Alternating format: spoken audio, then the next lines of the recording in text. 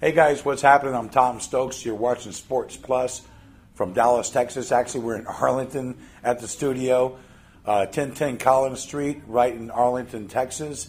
Uh, we're right across the street. I can see it from here. Uh, AT&T Stadium, home of the five-time world champion Dallas Cowboys.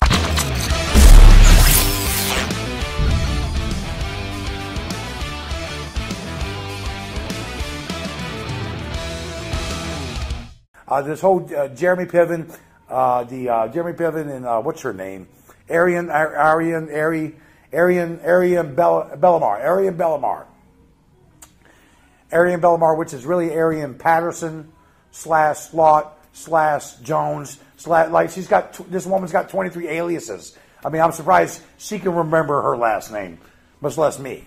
Okay, so uh, besides 23 aliases, she's lived at like 30 different places in the last um, probably three or four years I can put my uh, eye, eyeballs on, okay?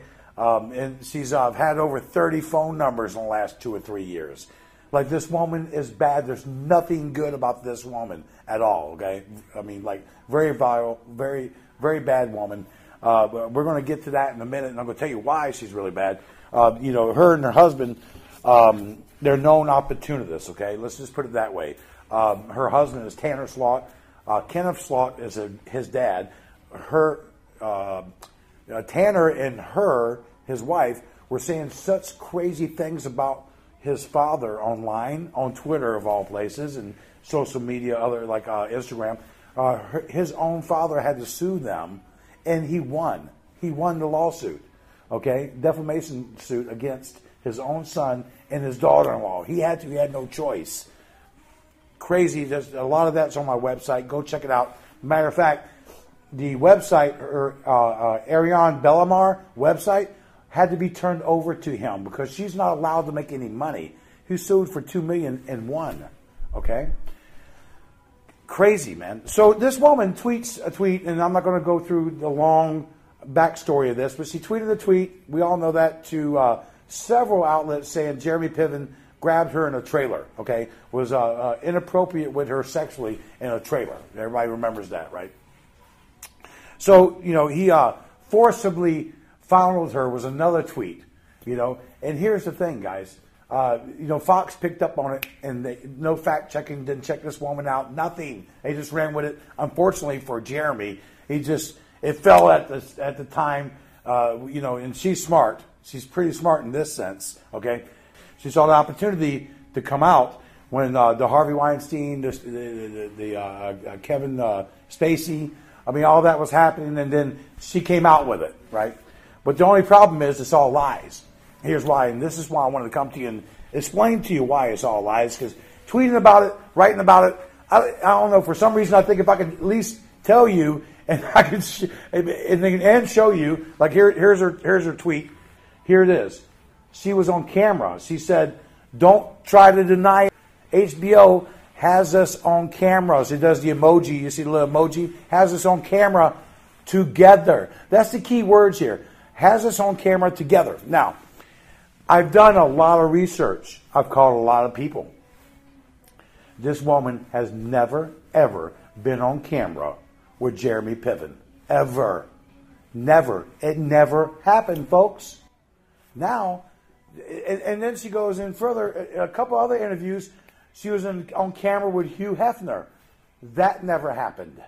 She goes. There's a, a couple other interviews uh, and a couple other articles says she is a Playboy model. Folks, she is not a Playboy model. I've already confirmed that. She's never been a playmate, that's for sure. Then she cleaned it up one time on another interview and said, no, she was a playmate bunny. Okay, Maybe she was a Playmate Bunny. I doubt that. I've already been in contact with Playboy, and they're trying to research that now. Now, remember, she just said that they were on camera together. Okay? And here's what I'm going to tell you right now. Listen to me carefully. I reached out to HBO a couple of days ago. Okay? I asked them, um, have they ever seen uh, uh, uh, has this woman ever been in Entourage? And they came back and told me, we don't know. We don't know she's been in Entourage? Okay. Well, was Entourage ever filmed at the Playboy Mansion? Now, I already knew it's been filmed at the Playboy Mansion, but I wanted to see what they would say. They said, well, nah, not that I can remember.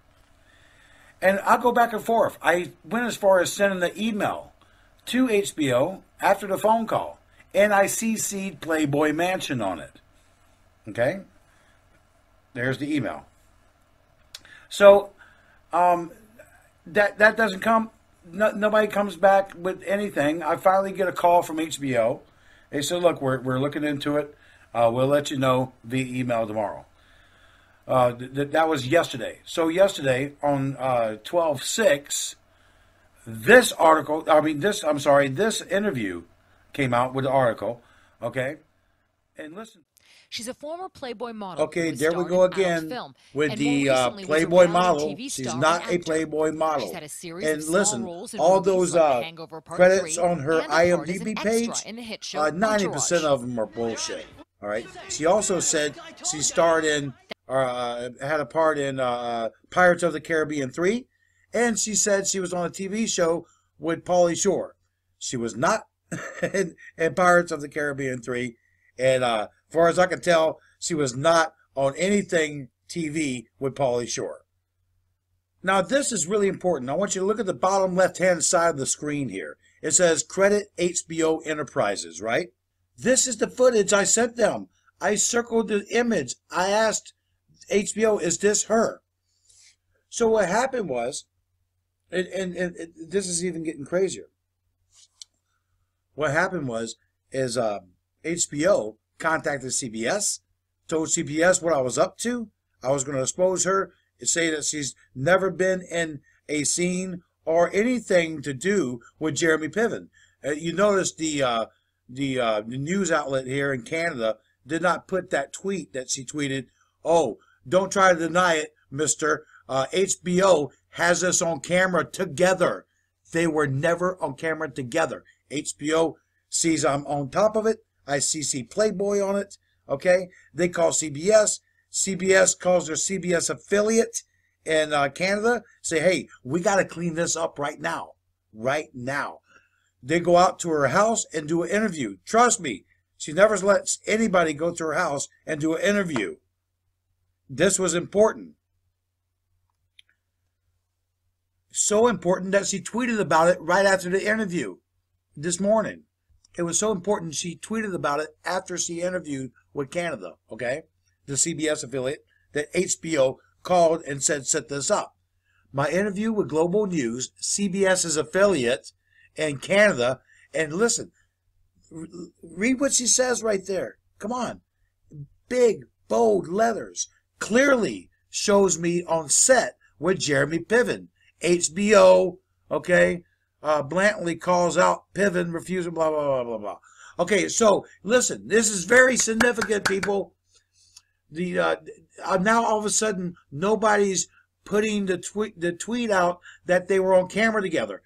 HBO wants this cleaned up. They call CBS. CBS gets them to go interview her. Okay? And she tweets this. I was the only person in the world that was even questioning if she was in Entourage or not. How you call that a coincidence? Really? Come on, people. Uh, she's always. She also says she's Mensa. Uh, I've talked to the Mensa people.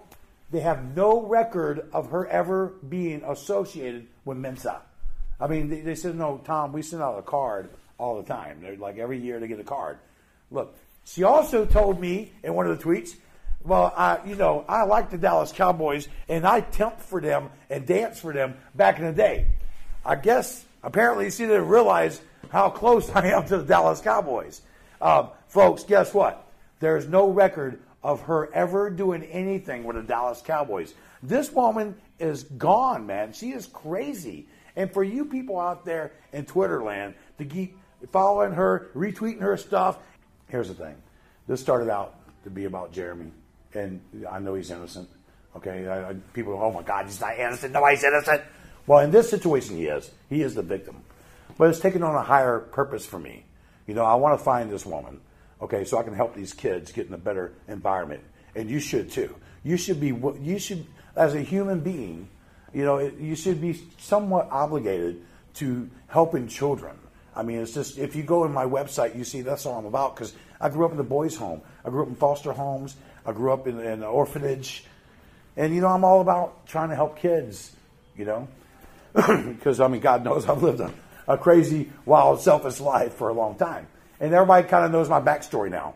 I was uh, uh, I was accused, uh, like Jeremy, 12 years ago, and uh, I was completely innocent, 100 percent. And now it wasn't at the level of Jeremy in exposure, but you know, I was uh, uh, I was looked down upon my peers in my industry, and man, I can't tell you how how hard that was for me to go through that. I mean, you know, there's lie after lie after lie. I got I was exonerated of all charges by the way, just in case you were wondering, because it never happened. But it took me a long time to to get that back. To get, and I can't get back the time I lost, but you know, it, I, I lost everything in the process. And people looked at me like I was some kind of sexual deviant and pervert, like for a long time. You know, and it wasn't it wasn't easy, man. I mean, to go through what what these what if somebody gets falsely accused of something, you just don't know what's going through their mind. It's the ridicule every day that I had to put up with, and especially from now. I was with the woman, the woman that actually said that I did these things. Like, like that's even worse. And we and we had a child. Oh my God. I, get, I start thinking about that. It drives me. It drives me crazy. So that's kind of like part of my higher purpose too, and, and, and my plight, I guess, in, in, life is, you know, when somebody's wrongfully accused, I, I, I, go help them out if I can. I'll look at the case and say, well, yeah, or I'll say, no, this guy's an asshole. He needs to go to jail. you know, I, I, get it. So I'm telling you, let's go. I don't mean to make that about me. I just wanted to tell you, just give you a little background if you didn't know.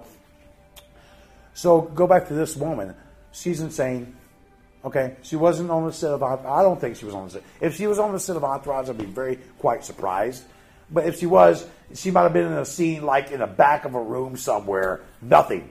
She was not on a scene with Jeremy Piven, like she says. She was not on camera with Jeremy Piven. She was not on camera with Howard, with Howard Hughes. Sorry, sorry, Mr. Hefner. Don't mean to compare you to Howard Hughes, to, uh, to you, to Hef. She was not. On, she was not. Pauly Shore. I'm not sure about Pirates of the Caribbean. She wasn't in. Mensa. She never was.